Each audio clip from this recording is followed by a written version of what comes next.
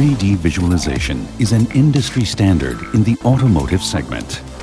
For major film and photo studios, 3D became the most important subject in recent years. Staud Studios is a reference in the field of automotive visualization.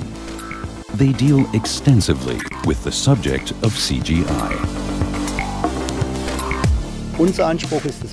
Our aim is the perfect picture, whether analog or digital.